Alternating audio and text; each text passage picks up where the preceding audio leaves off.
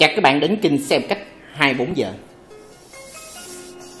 Exeter 150 Hồi sinh kim mê hoặc lòng người với một cách Malaysia.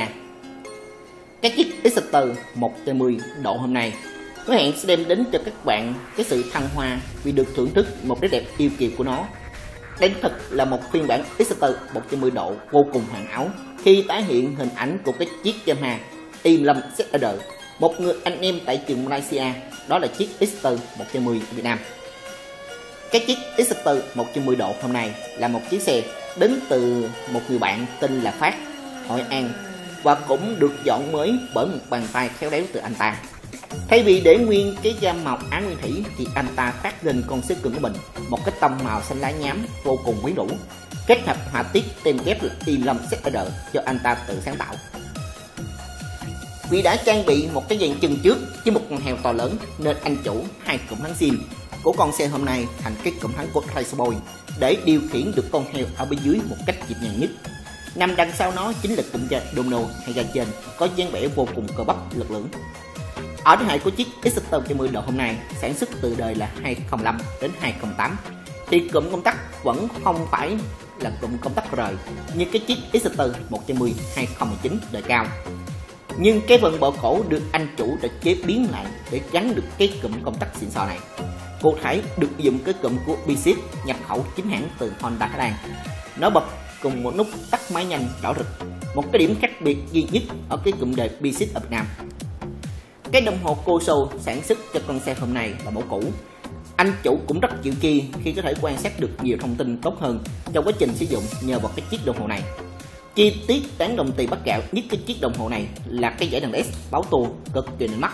Tăng cái sự phấn khích khi chúng ta cầm lại nói là chút dịch cụm công tắc, cái con xe này đã dùng cho mình cái cụm công tắc của cái dòng là CB 650 mẫu cụm công tắc có diện mạo vô cùng hào và mang cho mình vô số nút bấm.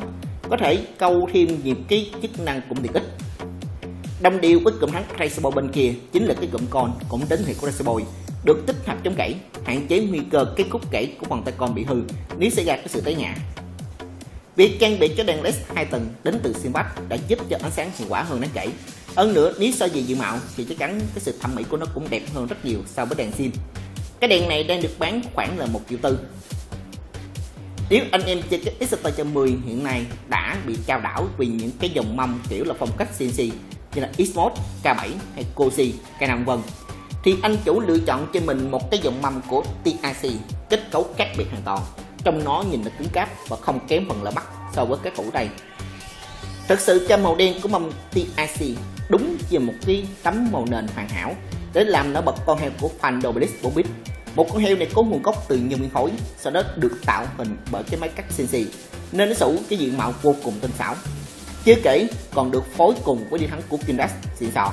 Một trong những cái dòng đĩa thắng được quan tâm nhiều nhất trong cái năm 2021 Đốc máy SS110 ga màu đồng, cũng thuộc danh sách những món đồ chơi được anh chủ của Exeter đội hôm nay nhiệt tình quan tâm.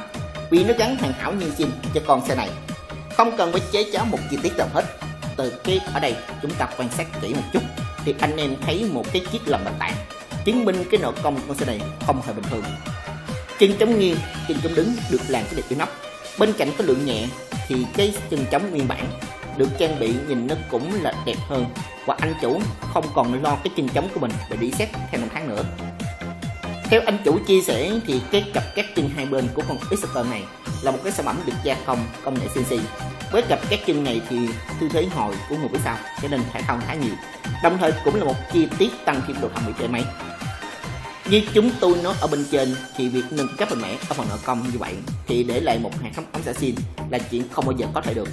Ống bô này đã được thay mới bằng cable của RM M3 Titan.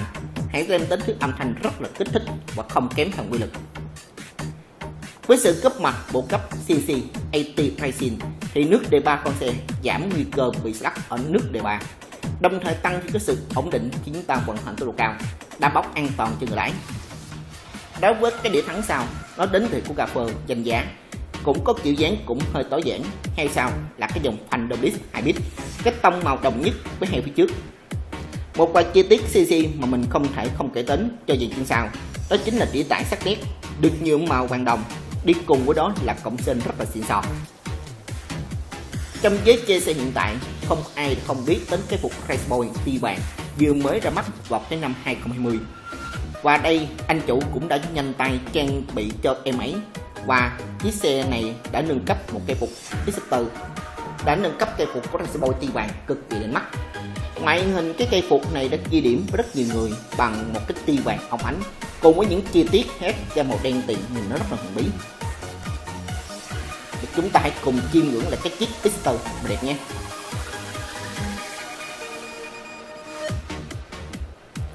Qua đồ, dọn kiển, dựng tóc gái. Chỉ việc được trang bị một loạt những món đồ chơi từ cái đình đám với chiếc Quadro 110 thời cũ cho nên lạ mắt hơn, với một diện mạo bắt mắt hiệu năng rất cao, gây ấn tượng rất mạnh cho người xem. Phần đầu chiếc xe được khoét nhựa cũng khá nhiều, để lắp được cái cụm cao tốc Dono kết hợp với cụm ENA, để người chủ chế một vài chức năng phụ mà anh ta mong muốn. Với cây chạy lực trung tâm Holland giúp việc kiểm soát vận động được tốt hơn, chăm sóc tốc độ cao đây cũng chính là món đồ chơi được anh em chơi là Waro. SX sắc hiện nay rất ưa dụng. Để làm kiển và tăng thêm cái xúc sang chảnh cho xe đậu riêng cái phần đầu em ấy được khoét đi một góc nhỏ để thêm cái không gian bất cụm thắng của Rainbow Asset. Các bạn Costa Costa vốn đã rất quen thuộc anh em chơi xe này. Ngoại hình đẹp, đi cùng hiệu năng thì ưu việt. Khả năng xử lý phanh rất là tốt im dịu. Tăng đưa độ xa gần đã thắng trong gãy. Tiếp đến ta thấy cái dàn chân trước, hàng của Rainbow Blitz 2 bit đi cùng thắng của Rainbow Motor 3 220 được gắn vào cái mâm Rainbow 8 cây, thông qua một cái chú ốc V5 điện quên cái màu xanh tím. Xe dâu heo được bấm đầu trông rất là nịnh mắt. Tiếp đến, ống xả 4 rod kết hợp cùng với cổ titan, đem chút âm thanh quy lực hầm hố hơn cho con xe. Nếu nhìn từ phía xa, về áo tổng thể, gam màu đen đỏ trở nên đã bọc hơn trước và chi tiết nhấn nhá quả bồ khoảng 10 triệu này. Tới ở đây, ta thấy con xe này cũng rất là chịu chi, khi lên lục phục holly bình dầu rời nằm dưới, dành cho đầu Waro sử dụng người chủ lựa chọn cái nấm chỉnh tạo màu đỏ để tạo điểm nhấn cho cây phục hàng kim này. Chúng ta hãy cùng xem tổng thể cho máy nhé